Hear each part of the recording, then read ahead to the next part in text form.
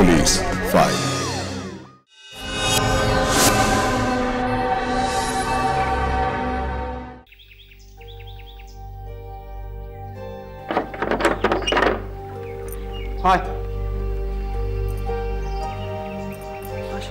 হয় এই একটা ঘর। আচ্ছা এদিকে সেখানে একটা ছোট ঘর রয়েছে। আর এটা হচ্ছে বাথরুম। ঠিক আছে? কি? এই ঘরটা চলবে তো? এটা খুবই সস্তা। এর থেকে কম ভাড়ার ঘর এখানে আর পাওয়া যাবে না। চলো, আপাতত একটা মাথা গোজার ঠাই তো হলো। মামা, তুমি আমাদের কি যে উপকার করলে? ধুর, থাক না সব কথা। তোরা কাজ কর বুঝলি, তোরা এই ঘরটাকে না মানে ভালো করে ঝেড়ে পুছে পরিষ্কার করে নে। হ্যাঁ এখানে তো রান্না বান্নার কোনো জিনিস দেখতেও পাচ্ছি না। আচ্ছা ঠিক আছে, আমি আমি ব্যবস্থা করে দিচ্ছি। আর শোন না, বলছি তোরা দুপুরবেলায় দোকান থেকে খাবার দাবার কিনে খেয়ে নে, আমি সন্ধ্যের সময় আসছি। হ্যাঁ? মামা! একটা কাজের দরকার। একটা কাজের ব্যবস্থা করে দাও না। আরে বাবা, অত চিন্তা করছিস কেন? হয়ে যাবে। আমি আসি।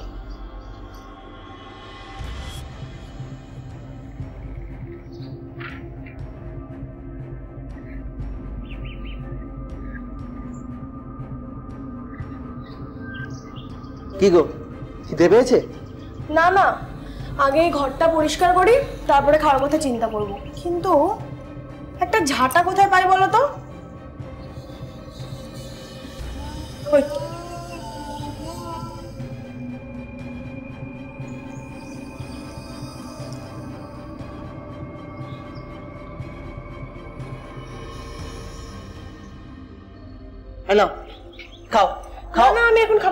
পরিষ্কার করি। এ খাও। খাও।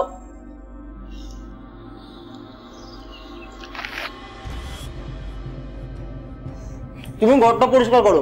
আমি দোকান থেকে খাবার নিয়ে আসি। ও কি খাবে? বিস্কুটটা আছে আর কিচ্ছু আনতে হবে না। বিস্কুট? এতে কি খিদে কমে নাকি? যাই দোকান থেকে রুটি তরকারি নিয়ে আসি। আসি আসি। বলছি বেশি কিছু আনবে না কিন্তু। ঠিক আছে।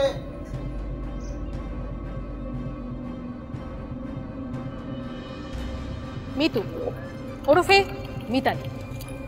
কলেজের দ্বিতীয় বর্ষের ছাত্রী এবং মধ্যবিত্ত পরিবারের মেয়ে। নীল, ওরফে নীলেশ। মাধ্যমিক পর্যন্ত পড়া একটি গরিব পরিবারের ছেলে। এদেরকে দেখে বোঝাই যাচ্ছে যে সদ্য বিয়ে করেছে। তবে সামাজিক মতে নয় লুকি দুই বাড়িরই সম্ভবত তাদের বিয়ে মেনে নেয়। তাই তারা নিজেদের সাধ্যমতো হারোয়া স্টেশন এলাকার একটি ছোট বাড়ি ভাড়া নিয়ে থাকে। সেই ভাড়া বাড়িতে নীল আর মিতু সুখে দুঃখে আনন্দে তাদের দাম্পত্য জীবনের এক মাস অতিবাহিত হওয়ার পর দু হাজার কুড়ির ছয় ফেব্রুয়ারি সকালে বসিরহাটের হারোয়া থানায় উপস্থিত হয়। স্যার আসব? বসুন।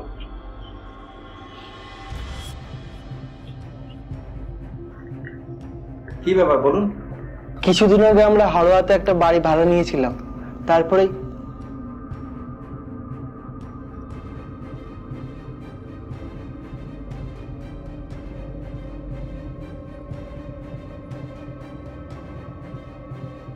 কি এমন ঘটলো? যার জন্য নীল আর মিতুকে থানায় আসতে হলো? তাদের বিয়ের পেছনের কোনো রহস্য? নাকি অন্য কিছু? দেখে নেওয়া যাক।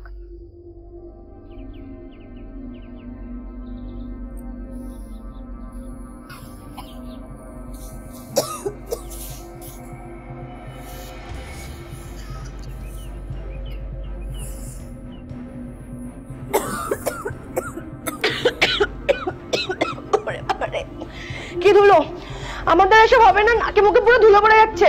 আমি এসব কিছু করতে পারব না। মাসের পর মাস পরিষ্কার না করলে এরকম তো হবেই। পুরোটা পরিষ্কার করবি। আমি এসব কিছু পরিষ্কার করতে পারব না। তুই পারবি না মানে? বড় হয়েছিস তুই করবি না তো কে করবে? পুরো ঘরটা পরিষ্কার করবি। আর শোন নিজের ঘর নিজে পরিষ্কার না করতে পারলে এই ঘরে থাকতে দেবো না। বাইরে থাকবি? এই ঘরে কি আমি একা থাকি? বানি থাকে না? আর বানি তো ঘরটা বেশি নোংরা করে। তোদের দুজনকেই বলছি। আর তুই তো বড়। তোকে বলব না তো কাকে বলব? দেখলে তো? দেখলে তো তোর জন্য আমাকে কতটা দুর্যোগ পাওয়াতে হচ্ছে? আমার জন্য? আমি কি করলাম? তুই তাই ঘরটাকে গোয়াল ঘর বানিয়ে রেখেছিস। আর তার জন্য মা আমাকে এসে বকলো? বারে আমার কেন এখন সব দোষ চাপিয়ে দিলি। আমি কি বাইরে থেকে জঞ্জাল এনে এখানে রেখেছি নাকি? তুই কোনোদিন বিছনা তুলিস? প্রতিদিন সকালবেলা আমি ঘুম থেকে উঠে বিছনা তুলবো ঘুমোতে যাওয়ার আগে বিছনা করব। মহারানীর জন্য আমাকে সব রেডি করে রাখতে হবে। একদম ফালতু বকবি না বানি তুই জানিস আমার পড়াশোনা কতটা চাপ তুই জানিস? তো তোর মতন না খেয়ে শুয়ে পড়লে হয় না। তুই যখন কলেজ উঠবি তুই তখন নিজে বুঝতে পারবি। থাক আর পড়াশোনার ব্যাপারটা বলতে হবে। কত পড়ি সে তো জানা আছে। টেবিলের সামনে বই খোলো কানে ফোন ধর। বানি! গুজুর গুজুর ফুসুর ফুসুর। এবার কিন্তু তুই খুব মার খাবি বলে দিলাম। কেন আমি মার খাব কেন? আমি কি তোর ওই হা, পড়াশোনায় ব্যাঘাত উঠালাম নাকি? ভুল ভালো বকছিস কেন মানে কি হচ্ছে রে? কি হচ্ছে তোদের?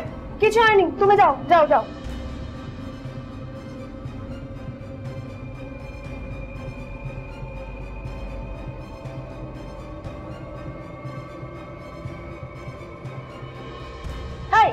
তুই এখানে বসে আছিস কেন?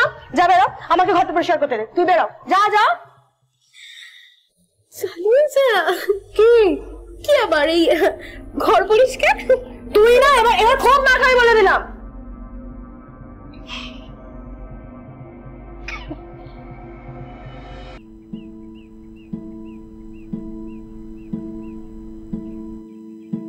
ছেলে মেয়ের জন্ম দিয়ে বাবা মার কর্তব্য পালন করো, ব্যাস।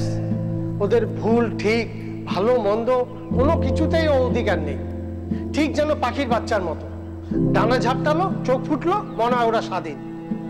আরে যারা বড় করল, মানুষ করল, তাদের মান সম্মান চুলো যাক, ওদের কিচ্ছু করার থাকে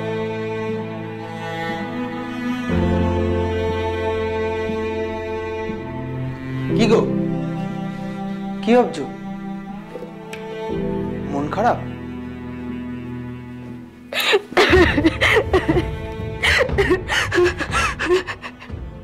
বাবা মায়ের কথা মনে পড়ছে? কষ্ট হচ্ছে, বুঝতে পারছি।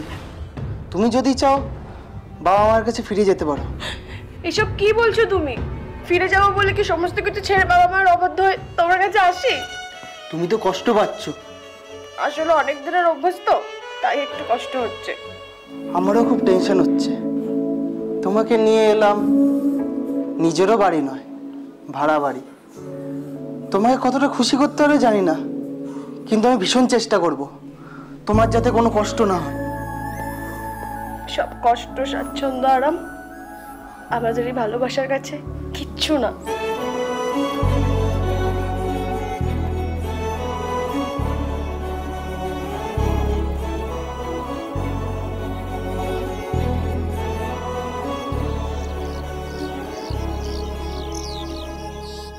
মিলো হ্যাঁ মামা আসছি। আসুন। কি? ওখানে লাইট জ্বলছে এখানে নেই বাল্ব নেই? না মামা দাঁড়ান আমি জ্বালিয়ে আনছি এক্ষুনি লম্প। হ্যাঁ। আর বলছি নীল কোথায়? ও একটু বাল্বটা আনতে গেছে। আচ্ছা।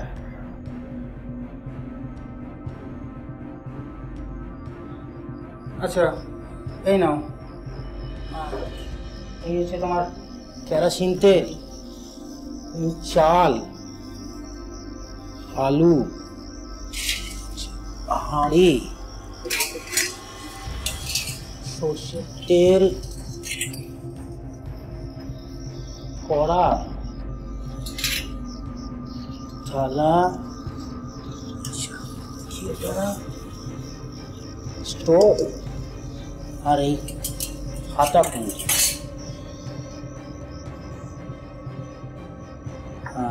সব ঠিকঠাক আছে? দেখি দেখি দেখি।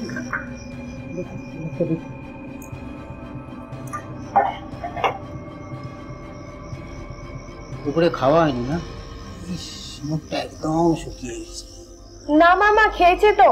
ও দোকান থেকে রুটি তরকারি এনেছিল। ওই দোকানের রুটি তরকারিতে কি আর খিদে কমানো যায়? তুমি এক বড় কাজ করো বুঝলে? তুমি এখন ওই আলু সেদ্ধ ভাত করে খেয়ে নাও। আমি দেখছি। কালকে কিছু ওই সবজি আর ওই ডিম এনে দেবো। না না মামা আপনাকে আর কিছু করতে হবে না। এমনি আপনি অনেক কিছু করেছেন। আমাদের কাছে আপনার অনেক ঋণ। শুধু মামা আপনার কাছে একটা অনুরোধ যদি নীলের জন্য একটা কোনো ভালো কাজের ব্যবস্থা হয়। আরে তুমি অত চিন্তা করো না। এই প্রদীপ মামা যখন আছে যখন আমার ভরসায় তোমরা এখানে এসে পড়েছো তখন এই মামা তোমাদের না খাইয়ে রাখবে না। তবে হ্যাঁ কাজ একটা হয়ে যাবে কিন্তু দিনমজুরের কাজ ও কি পারবে? হ্যাঁ পারব। আরে যে। আয় আয় আয়। ও পারবে না চিস এতে বারটা লাগিয়ে এনে ব্যাগটা ধর।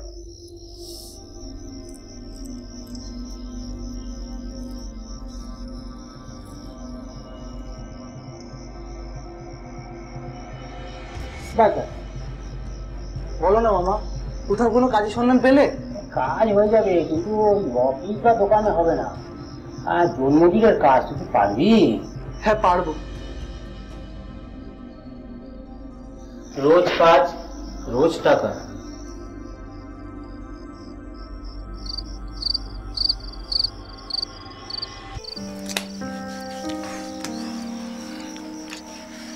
উফ কি মশা।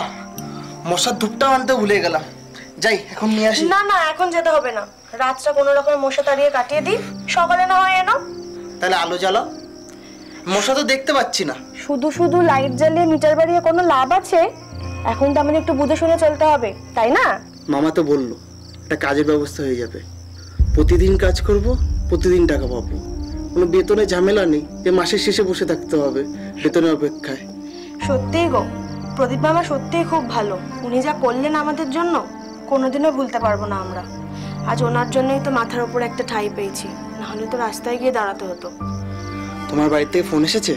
না না আমি তো ফোনটা অফ করে রেখেছি। ওরা কেউ আমাকে ফোন করবে না। খুব রেগে আছে তো আমার ওপর। আমাকে আর কোনোদিনই ওরা মেনে নেবে না। ভগবান আমাদের সাথে আছে। নাহলে প্রদীপ মামার মতন লোকের সঙ্গে যোগাযোগ হয়? আর তাই? আজ তুমি আর আমি এইখানে।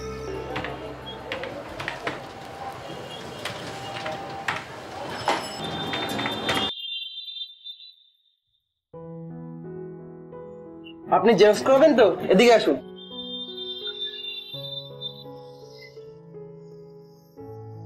বোথ সাইড করব? হ্যাঁ হ্যাঁ সবগুলো পাঁচ পরে বোথ বোধ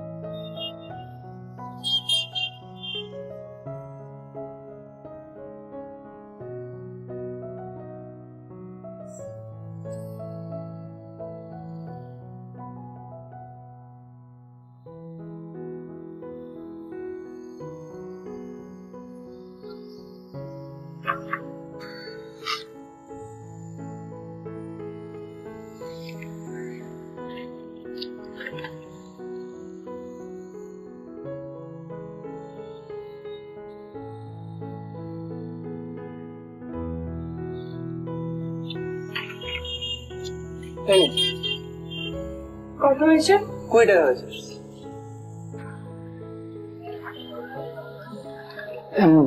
খুচরো তো নেই এত পর্যন্ত আমার কাছে তো আর খুচরো নেই। সে অসুবিধা নেই। আপনি আসেন তো যখন তখন দিয়ে যাবে। আসছি। আসছি।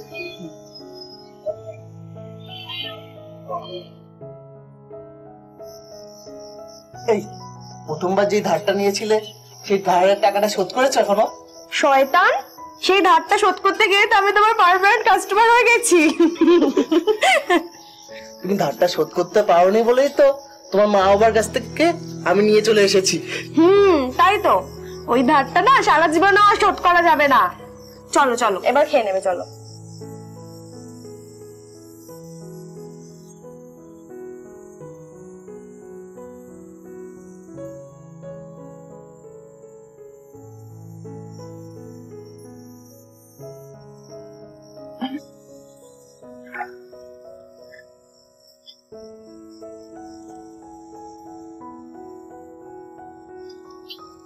এসো এবার খেয়ে নাও।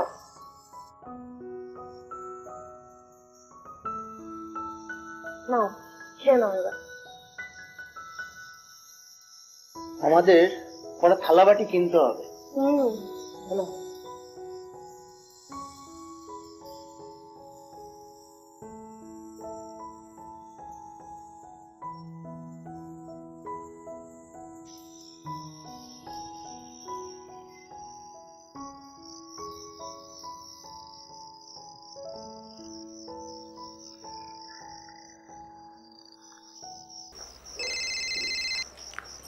হ্যাঁ প্রদীপ মামা বলো। সকালে কাজে চলে আয়। হ্যাঁ কোথায় কখন? তিন মাথার মোড়ে আয় সকাল সাতটায়। আমি রাখছি। আচ্ছা।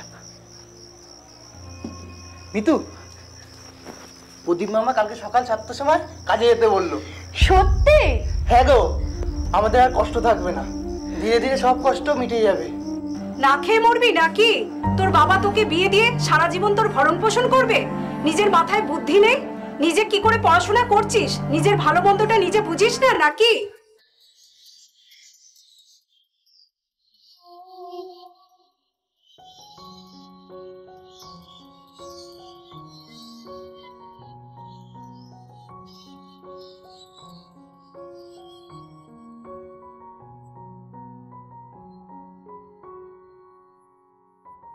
শিল্পা করে? আয়নাই তো মনে হয় নেই।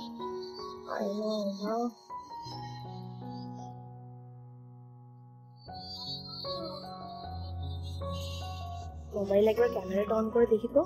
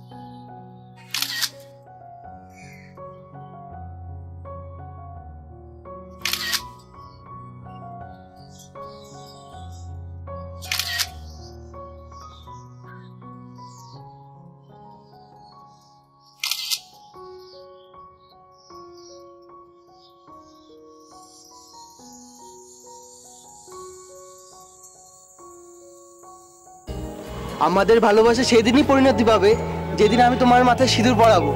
তুমি বাড়িতে কথা বলেছ? না এখনও বলে উঠতে পারিনি। বলো তোমারই তো আগে বলা দরকার।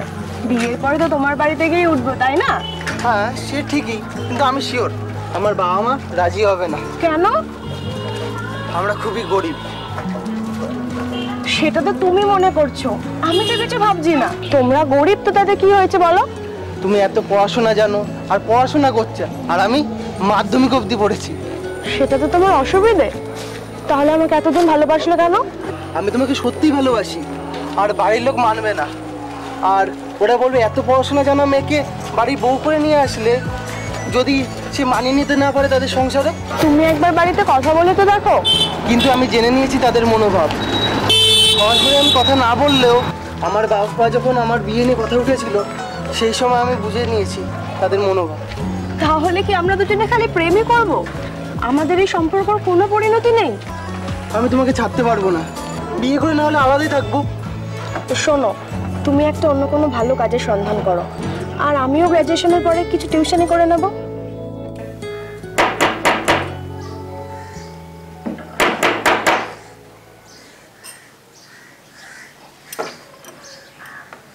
ও মামা আপনি আসুন আসুন। বসুন না বসুন। হ্যাঁ হ্যাঁ আচ্ছা এই তোমার সমস্ত জিনিসপত্র বুঝলে এর মধ্যে থালা বাসন রয়েছে এই শাকসবজি আর এই এর মধ্যে কিছু মশলাপাতি এনেছি আর ঘরেতে ওই জামা কাপড় টাঙানোর জন্য দড়ি আর এর মধ্যে ওই আয়না চিরুন আছে। এসবের তো কোনো দরকার ছিল না মামা। আপনি এম- এমনিই অনেক কষ্ট করেছেন। নীল তো আস্তে আস্তে নিয়েই আসতো। না না সবই আনবে। কিন্তু তোমাদের সংসারে কি কি প্রয়োজন, সেটা তো তোমরা জানো না। আর, তাছাড়া তোমরা যখন আমাকে দায়িত্ব দিয়েইছো তো বাদ বাকিটা আমার উপরেই ছাড়ো। আমার তাতে কষ্ট হচ্ছে কি না হচ্ছে, সেটা তোমাদের দেখার দরকার নেই। নীলকে একটা কাজে ঢুকিয়ে দিয়েছি। এবার থেকে ও তোমাদের এই যে সংসারে যা দরকার মোটামুটি আমি অল্প অল্প করে এনে দিয়ে গেলাম। এবার থেকে নীল কাজ করবে। তাতে যে টাকা পয়সা পাবে আর কি, তুমি বলবে যে তোমার কি কি জিনিসের দরকার। হ্যাঁ ও আস্তে আস্তে তোমাকে সব এনে দেবে। হ্যাঁ টুকটুক করে ও সবই এনে দেবে। আচ্ছা। বলছি কি? এখানে এখানে থাকল হ্যাঁ? তাহলে আজ আমি আসি, বুঝলে? কি গো? আসি? হ্যাঁ মামা। আপনার তো অনেক কাজ থাকে। তাও সময় পেলে আসবেন।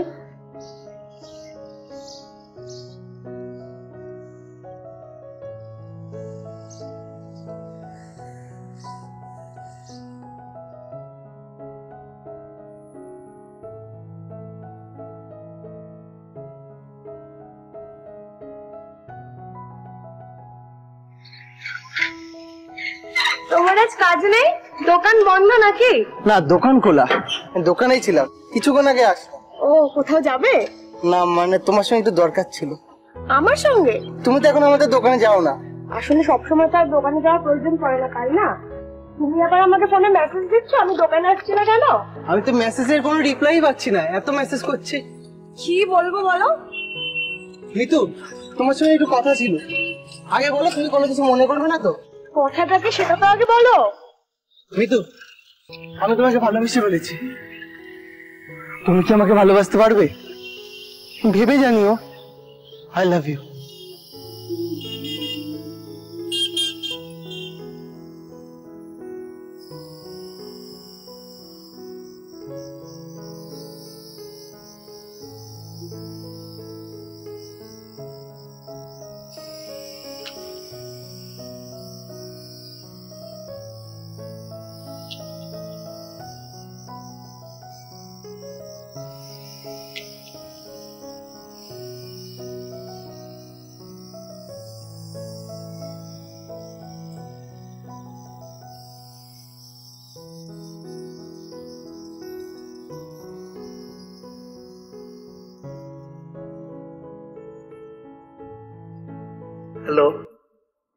পড়েছিলে না শুয়েছিলাম। ঘুম আসেনি। কেন? ঘুম আসেনি কেন? ভয়। ভয়ে ঘুম আসেনি। কিসের ভয়? তোমার। কেন? আমি এবার কি করলাম? তুমি কিছু করোনি। সবকিছুর জন্য আমিই দায়ী। তুমি কি ভীতু? না মানে তুমি ঘুমাওনি কেন? পড়াশোনা করছিলে? না না। আমারও ঘুম চলে গেছে। আর পড়াশোনা সেটা তো ডকে উঠেছে। তার জন্য কি আমি দায়ী হুম। এর জন্যই তো আমার ভয় করছে। শোনো তুমি না মোটেও ভীতু নয়। যদি তাই হতে তাহলে সাহস করে আর আমার কথাগুলো বলতে পারতেন আমার অস্বস্তি হচ্ছিল কথাটা বলতে না পেরে। অনেকবার ভেবেছিলাম কথাটা বলব না। কিন্তু তুমি কোথায় আর আমি কোথায়? তাও মনটা মানছিল না। বলে দিয়েছ এবার তোমার মন শান্ত হয়েছে তো? কিন্তু আমার অস্বস্তি হচ্ছে এবার। সরি সরি সরি কেন? তুমি তো কোনো অপরাধ করনি তুমি তো খুব ভালো। তোমার মনটাও খুব পরিষ্কার। আমি তো তোমাকে অনেকদিন ধরে চিনি আমি বুঝতে পারি। তাই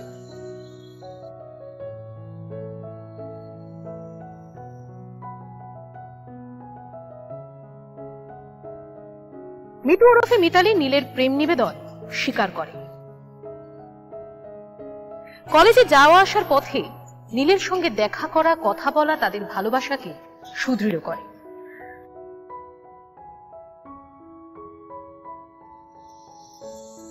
অনেক রাতে দুজনের ফোনে কথা বলা দুজন দুজনের পরিপূরক হয়ে ওঠে। I love you I love you too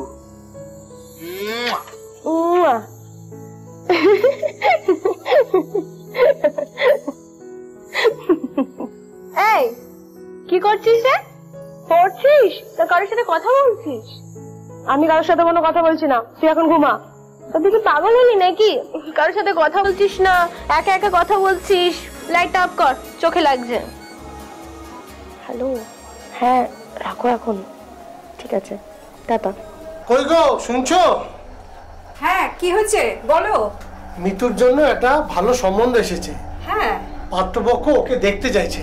আচ্ছা। কবে আসতে বলি বলো তো? একটা ছুটির দিন দেখে আসতে বলো না। মিতুরও কলেজ কামাই হবে না। আমি কিন্তু এখন বিয়ে ঠিক করব না। কেন? কি করবি ঠিক করেছিস? পড়ছি আগে পড়াটা কমপ্লিট হোক তারপরে ভাববো। শোন বিয়ের বয়স হয়েছে। ভালো ছেলে পেলে বিয়ে দিয়ে দেবো। আর পড়াশোনার জন্য ভালো ছেলেরা বসে থাকে না।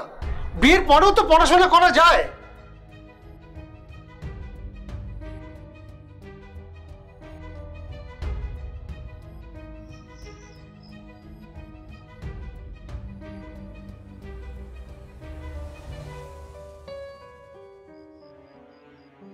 এই দিদি কার কথা ভাবছিস রে? বাবা মার কথা? তুই বাবাকে বলে দে না রে যে তুই একজনকে ভালোবাসিস।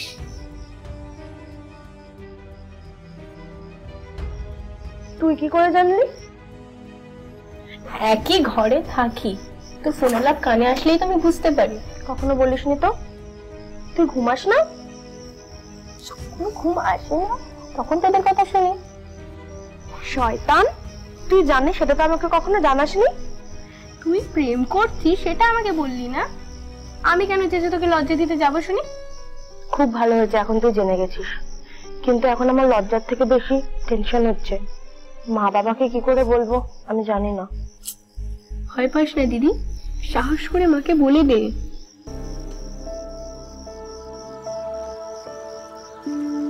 আমার পরিষ্কার কথা আমি রাজি নই। আর এই প্রেম ভালোবাসা মন থেকে মুছে ফেল। বেশি বাড়াবাড়ি করবি কলেজে যাওয়া বন্ধ করে দেবো।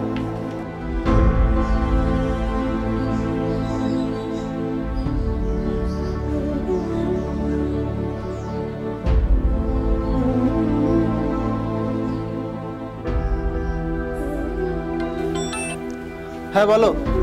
বলছি যে আমার বাড়ি থেকে আমার বিয়ের জন্য ছেলে দেখাশোনা শুরু করে দিয়েছে। তুমি বলে দাও এখন বিয়ে করবে না। আমি বলেছি কিন্তু আমার বাবা মা কেউ মানছে না। আমাদের এক্ষুনি কোনো একটা সিদ্ধান্ত নিতে হবে। কি করবে? কি করব? তুমি একটা এক্ষুনি কোনো ব্যবস্থা করো। আমাদের তো বিয়ে করা ছাড়া আর কোনো উপায় নেই। আমার বাড়ির থেকেও তো এখন মেনে নেবে না। তাহলে আমি কিন্তু বাড়ি থেকে বেরিয়ে যাব। তুমি তুমি অন্য কোথাও একটা থাকার ব্যবস্থা করো। তাই করতে হবে। তুমি একটু কষ্ট করে থাকতে পারবে তো? সস্তা একটা বাড়ি ভাড়া নিতে হবে। হ্যাঁ হ্যাঁ তাই করো তাই করো। আমার কোনো অসুবিধা হবে না। তুমি তুমি তাড়াতাড়ি কোনো একটা ব্যবস্থা করো। আমি এখন রাখছি। হ্যাঁ আমি আমি রাখছি।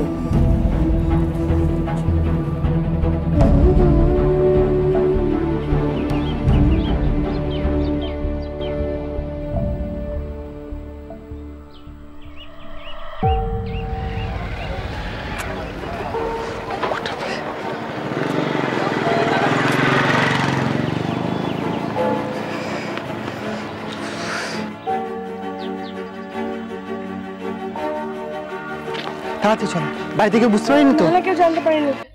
কোথায় যাব আমরা? আগে তো মন্দিরে চলো তারপরে দেখছি।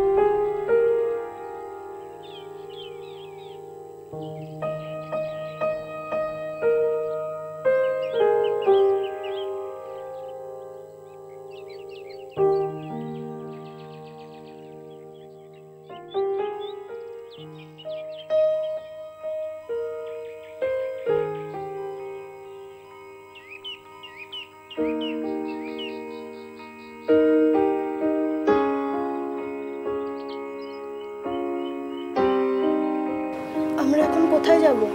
একজনের সঙ্গে আমার কথা হয়েছে, সে একটা সস্তায় বাড়ি ভাড়া করে দেবে। চলো চলো।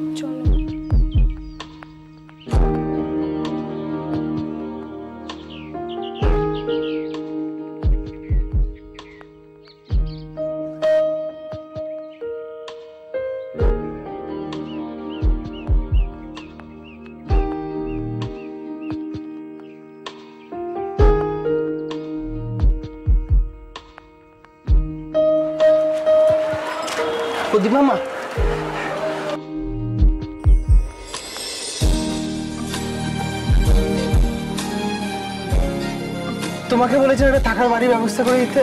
একটা কম পয়সার বাড়ি পেয়েছি। এর থেকে কম পয়সার এ বাজারে বাড়ি ভাড়া পাওয়া যায় না। চল। চলো চলো।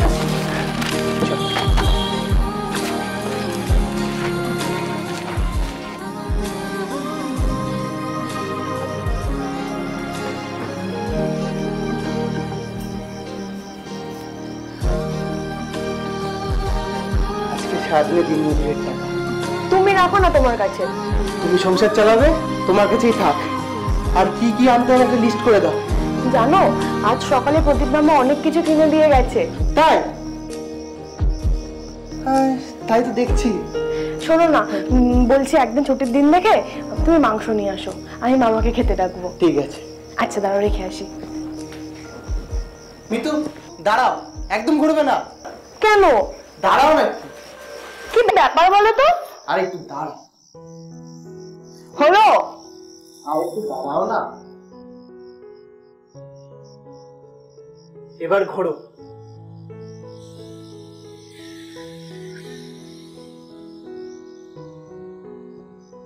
আমি তোমার ভাত কাপড়ের দায়িত্ব নিলাম।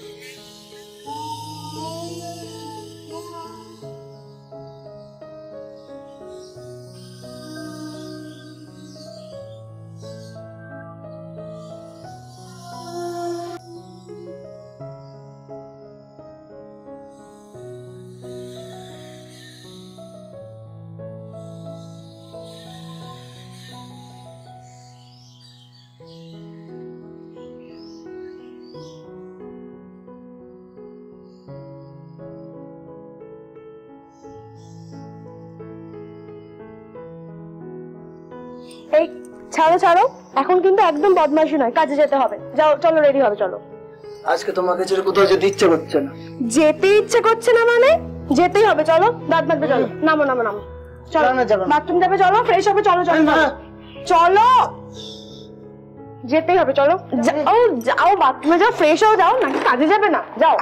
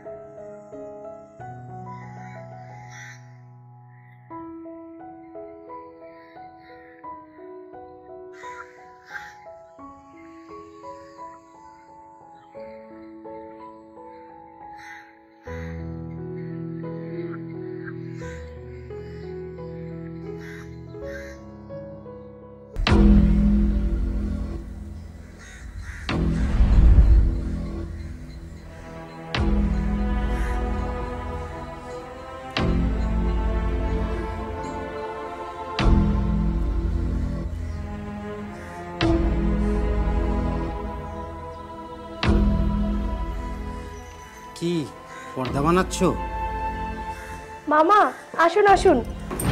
ভালো ভালো। বলছি যে তোমাদের এখানে কোনো অসুবিধা হচ্ছে না তো? না না মামা আপনি বসুন না। না না আমি বসবো না। আমি এখান দিয়ে যাচ্ছিলাম তাই ভাবলাম যে তোমাদের একটু খোঁজ খবর নিয়ে যাই। যাবেন কেন মামা? আজকে অন্তত খেয়ে যাবেন আপনি। না না আমি সকালবেলা রুটি তরকারি খেয়ে বেরিয়েছি। ঠিক আছে আমি চা করছি তো আপনাকে চাটা খেয়ে যেতে হবে। ঠিক আছে যখন বলছো। চাই করো তাহলে আপনি বসুন আমি এক্ষুনি চাটা পরে করে করো, আনছি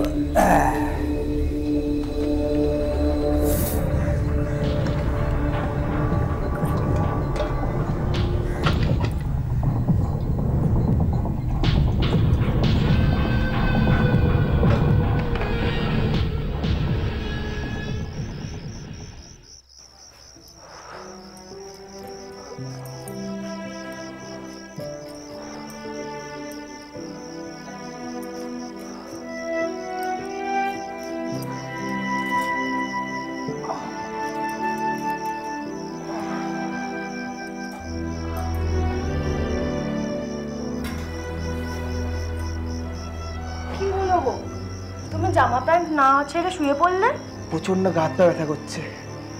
দেখো তো জ্বর এলে কি না হ্যাঁ তাই তো। গাটা তো একটু গরম গরম মনে হচ্ছে। আচ্ছা শোনো তুমি একটু জামা প্যান্টটা ছেড়ে নাও আমি তোমার জন্য গরম জল পরে আনছি।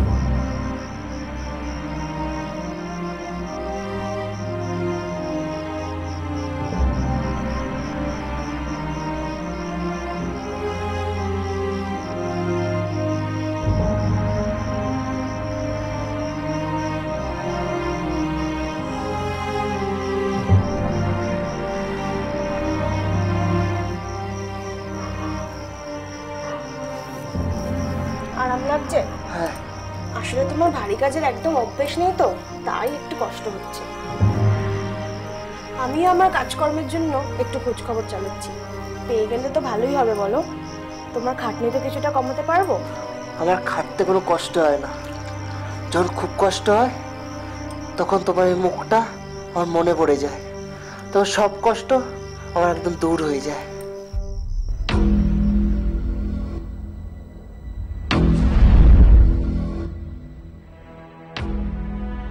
আপনার উপকার আমরা কোনোদিনও ভুলবো না, মামা। সারা জীবন মনে রাখব। আপনার কাছে আমরা ঋণী হয়ে থাকব সারা জীবন। আপনি যদি আমাদের জন্য এই ব্যবস্থাটা না করতেন, আমি আর নীল যে কে কোথায় থাকতাম, ভগবানই জানে। আপনি তো আমাদের কাছে ভগবান, মামা। আজকে আমাদের রাস্তায় ঠাই হতো। জানতাম না কী হবে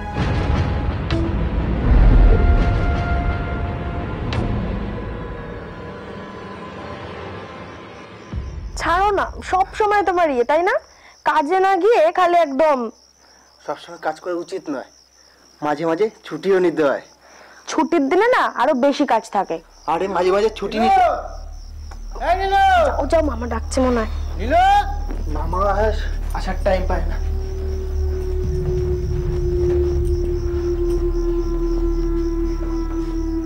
ও, মামা আসো। তুই বাড়িতে আছিস? তাই চলে এলাম। ভালো করেছ? তো বলছি একটু খাবি না? না মানে? মিতু বলছি যে আজকে আমরা এখানে বসে একটু ওই জল পান করব। তাতে তোমার কোনো আপত্তি আছে কি? না মানে আপনারা তো এমনিই করেন। আমি বারণ করলে যে আপনারা কোনোদিনই করবেন না সেটা তো নয়। না আমি বেশি খাই না। মানে এই হাড় ভাঙা খাটুনির কাজ তো। তাই ওই মাঝে মাঝে একটু ওষুধের কাজ করে।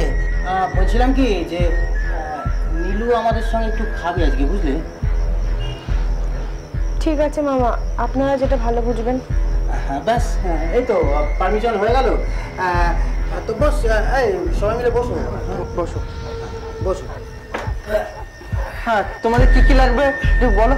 না না কিচ্ছু লাগবে না আমরা সব নিয়ে এসেছি। এই বার কর। ব্যাপারটা কথা ও। সবাইকে কিন্তু স্টিলের গ্লাস দিতে পারব না। আরে কিচ্ছু লাগবে না। তুই শুধু জলটা সাপ্লাই কর।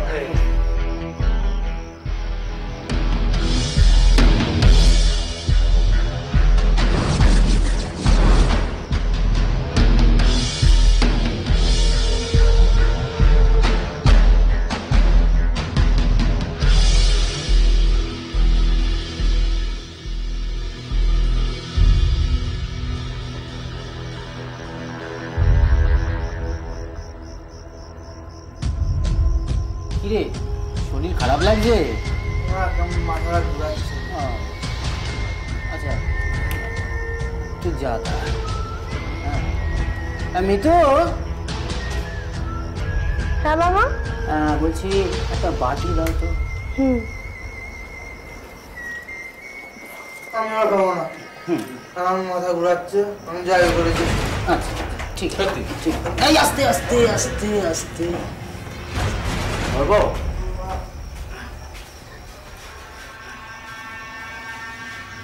মামা। হ্যাঁ। আরে কোথায় যাচ্ছ? দাঁড়াও না এখানে।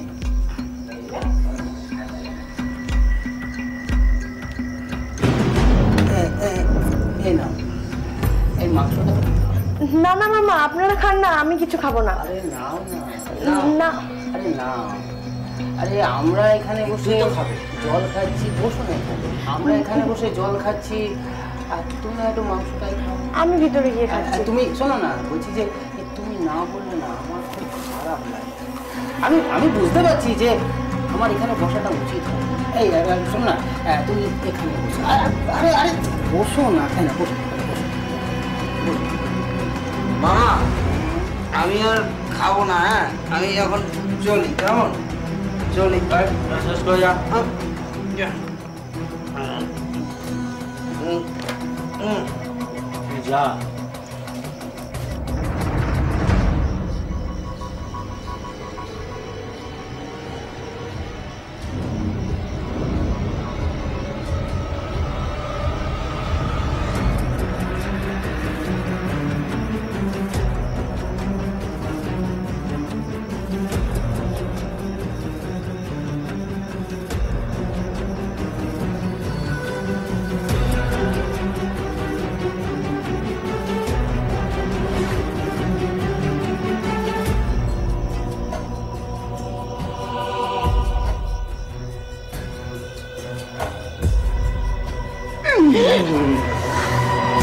মামা মামা কি করছেন?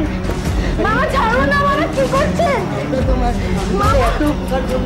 মামা ছাড়ো মামা, কি করছেন? নীল না কি করছেন? ছাড়ো না, নীল। নীলকুন বেবি ছাড়ো না মামা দোহাই আপনার বুঝব না। হ্যাঁ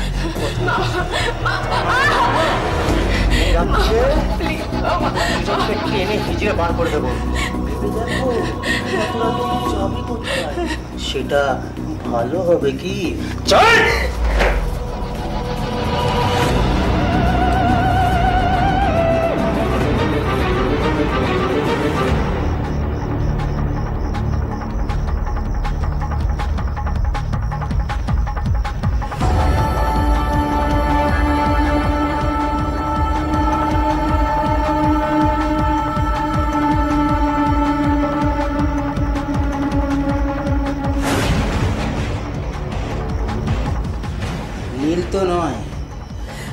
যদি কাউকে ঘটনাটার কথা জানিয়েছিস না?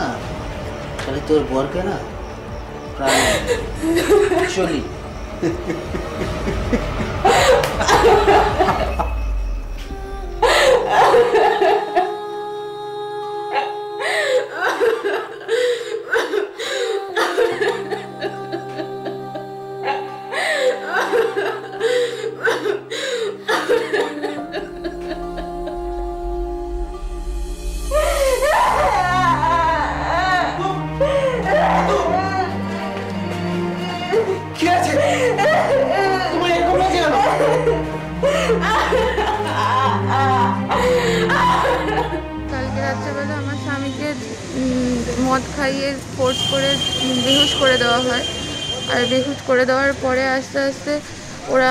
সুযোগ নিতে থাকে আর লাইট অফ করে।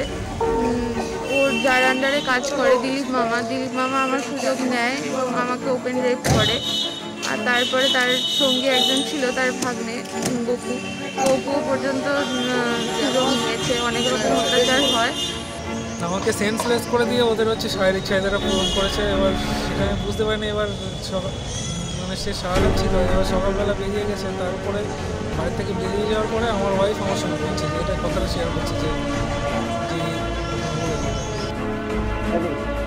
সই করে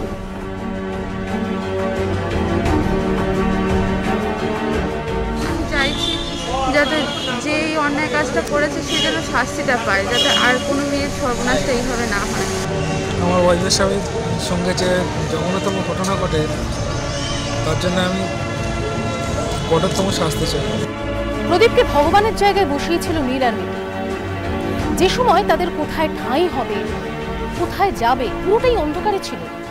একমাত্র প্রদীপ সরকারই তাদের দিকে সাহায্যের হাত বাড়িয়ে দিচ্ছিল শুধুমাত্র তাদের আশ্রয় জোগাড় করে দেওয়াই নয়, তাদের সংসারের নানান প্রয়োজনীয় জিনিসের যোগান দিয়ে তাদের অপরিসীম উপকার করে তাদের রক্ষক হয়ে উঠেছিল। কিন্তু সেই রক্ষকই ভক্ষক হয়ে মৃত্যুর জীবনটাকে একেবারে তছনছ করে দিয়েছে। এমন উপকারীর বন্ধুর কি খুব প্রয়োজন আছে? দরকার নেই। বরং এমন মানুষের প্রাপ্য উচিত শাস্তি। তার জন্য নীল আর মিতু সাহসের সঙ্গে এগিয়ে এসেছে। যেটা তাদের করা উচিত তারা সেটাই করেছে, থানাতে জানিয়েছে। প্রদীপকে অ্যারেস্ট করা হয়েছে, কিন্তু তার সঙ্গী পলাতক। পুলিশ তাকে এখনও খুঁজে চলেছে। আজকের মতো এ পর্যন্তই। আপনাদের সঙ্গে দেখা হবে আগামী পর্বে। ততক্ষণ ভালো থাকুন সাবধানে থাকুন আর অবশ্যই সদা সতর্ক থাকুন আর দেখতে থাকুন পুলিশ ফাইলস।